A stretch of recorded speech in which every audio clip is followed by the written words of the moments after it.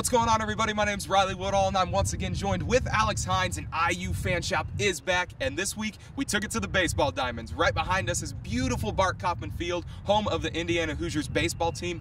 They are taking on Northwestern today. It's a beautiful Sunday. Alex, we got a raucous crowd inside, and a lot of great action coming up. I'm excited. Absolutely. It's the first Big Ten series for either of these two teams. Both have a win against each other so far, looking to get that first series win that's hugely important. We're going to have a great crowd today. Let's see how the game goes.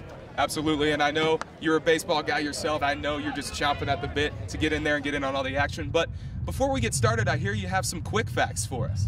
I do indeed. Let's try one out here right now. Bart Kaufman Field right behind us opened on April 26th of 2013. We're nearing the nine-year anniversary. They won their first game 15 to 1 against Miami. We've seen how high-powered the current offense is. Maybe they can replicate something like that today. We'll see you guys inside. Hi guys, I'm back here with Mark. Uh, Tyler. All right guys, what is a sentimental memory for you with baseball? uh, coaching Little League in Washington, Indiana for about 15 years. I won a Little League championship once. That was pretty cool. But we're here with. Colin Patterson. All right, guys. Now, who is your favorite baseball player? Aaron Judge. Yadier Molina. Ooh, okay, good choices.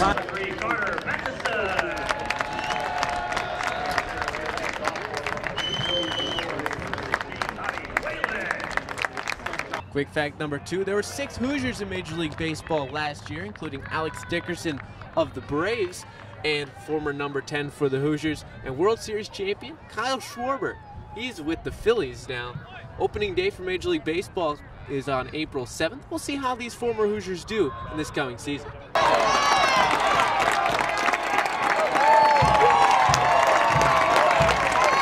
As I'm joined here with, Silas.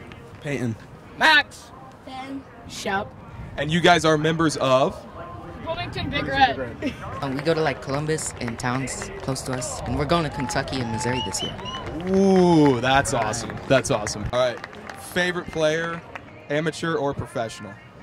Kyle Schwarber. I don't have a favorite player. I can't pick one. Uh, probably Javier Baez, Fernando Tatis Jr., or Juan Soto. Probably Tatis. Nicholas Castellanos. Castellanos. Yeah, of course. Hey, we had one more person join us. What's your name, my friend? My name is EJ.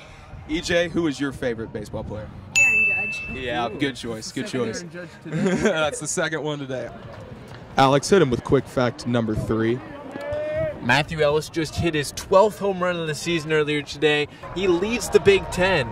He hit one 485 feet earlier this year. That man crushes the baseball. And we're back here with. I'm Mike Jackson. What's your name? Jude. Nice to meet you guys.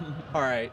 So at the ballpark, what's your favorite part of just being at the ballpark watching baseball?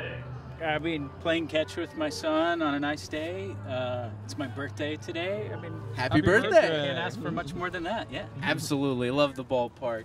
Joined with? Stephen Miles. All right. So what's your favorite baseball memory that you've had?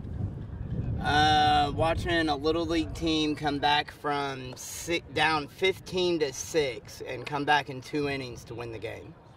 Wow. That's that's impressive. That's impressive. And now, growing up, who's your favorite baseball player? Uh, Derek Jeter. Well, Riley, it's the fifth inning right about now.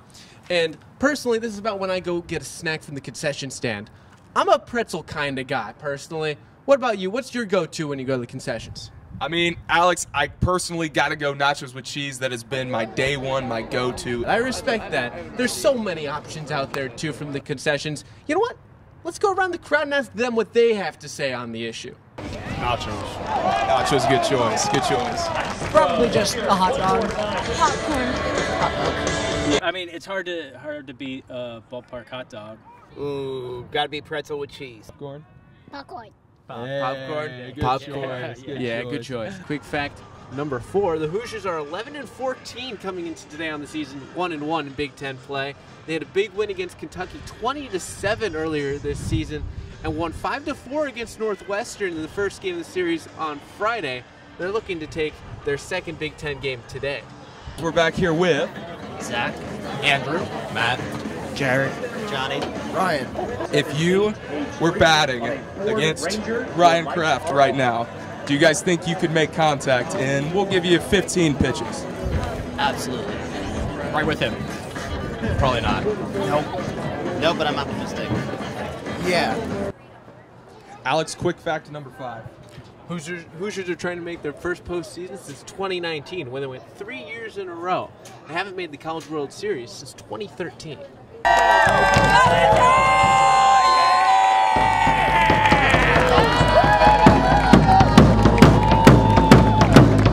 Tough loss today for the Indiana Hoosiers baseball team, dropping the final game of the three-game series to Northwestern 13 to 6. But Alex, we still had an amazing turnout, a great crowd today, and we still saw some some positives for this IU Hoosiers team headed into the latter half of their season.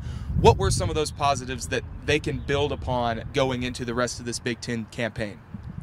Yeah, well, first off, Matthew Ellis hit another homer, extending his Big Ten lead, and the Bats started to wake up late. That was a good sign. They got six runs across. The fight in this team is extraordinary. But most of all, Riley, you mentioned it. The fans who stuck out through it all today on a wonderful Sunday afternoon. What more could you ask from these amazing Hoosier fans? shows the real dedication that these amazing fans have, that these Indiana Hoosiers have. But for me and Alex Hynes, that's going to do it for us today. Be sure to follow us on Twitter at IU Fanshop and send us all your photos and videos at the different IU athletic events that you're at, showing off your IU apparel, and we'll be sure to feature you on the next episode. And we will see you guys next time.